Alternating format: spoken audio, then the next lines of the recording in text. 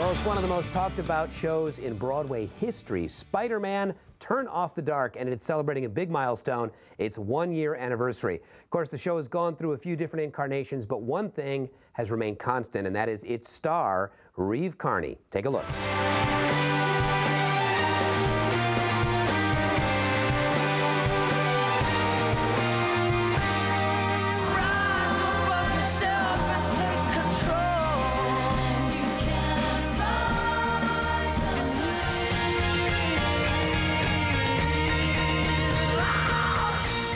And Reeve is in our studio today. We got a lot to talk about. So, uh, one year, the show has been Yeah, on Broadway. I couldn't believe it. Yeah, it's kind of crazy. Uh, obviously, the big thing people talked about with the show was that there were a lot of problems. There were there were show problems. There were safety problems.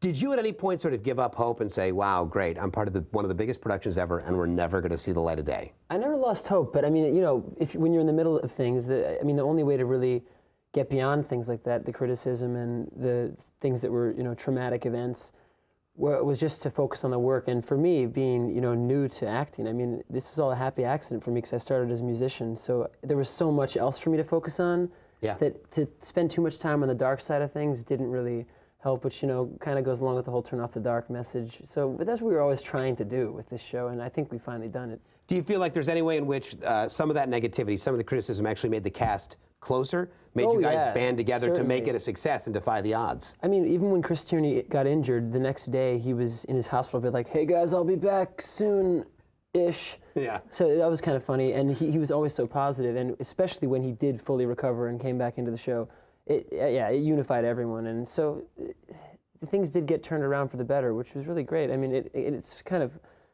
it's interesting how that works when you, think about the whole message of the show, the whole rise above, turn off the dark. With great power comes great responsibility. All those things. It it's sort of you know I guess life imitated art in a way. Well, that is, that's exactly what you guys have done. I mean, a year later, no one really would have predicted when things were difficult that a year later you guys would be not just still going, but going strong, Right. selling out houses, and having great success.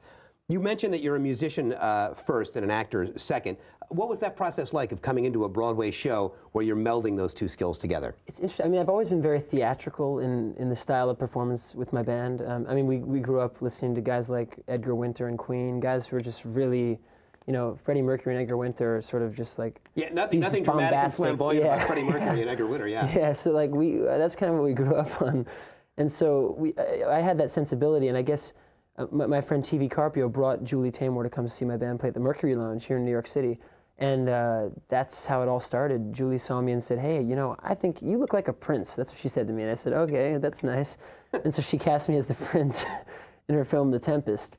And then after Had you ever that- done Shakespeare before that? I mean, that's a big. Julie Taymor, Oh, famous, sort of a legend doing Shakespeare on film. Yeah. And then you get a, a, an important role in The Tempest. I know. I don't think I was reviewed very well, but that's okay. I mean, it was my first my first job.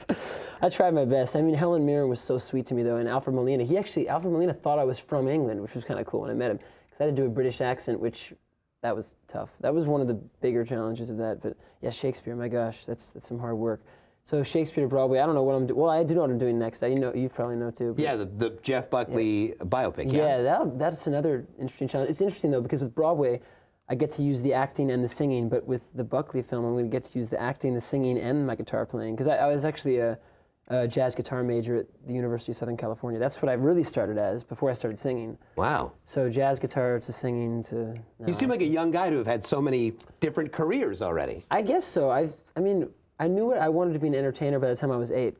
So Really? I don't know how that happened, but I just had this thing where I just knew I- I want to entertain people in some way. and that you're doing. So uh, Bono and The Edge obviously did the music for the show. Uh, how closely did you work with these guys? pretty closely. I mean, they, they would, whether it be, uh, you know, in, in the audition process, I, I remember when I first met them and sang the songs for them, that was the beginning of it. And then, you know, they worked with us a lot at the theater and in recording studios throughout New York and even in LA. So, yeah, I worked with them quite a bit. And they taught me a lot about singing from a non technical standpoint, which was kind of cool because I, you know, I'm trained as a singer, but they have things to offer that, you know, you wouldn't necessarily learn when you're thinking about technique. Is there is it an intimidation factor there where you're like, hey, look, Bono, probably the greatest musician of my know. generation. I think I'll stand up and sing for him.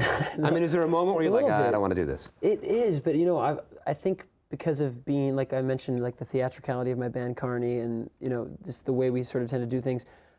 I am used to sort of being ignited by that sort of energy when when, when I'm nerves sort of drive my performance. Right. So I think when when I am in the presence of someone like Bono, it makes me step up to my higher level. So I think that was helpful for the audition process. You said they taught you a little bit about singing, but from a non-technical standpoint. Tell me, tell me a little bit more about that. What, what did you take away from your time with them? Well, Bono as a singer and Edge as a singer as well, both of them sing. Um, but uh, you know, they, they would sort of deal with me on a level of you know really focusing on the lyric, which is something that I've learned so much by doing Broadway. I mean, uh, being a musician first, and like I said, a jazz guitar player first, and blues guitar player.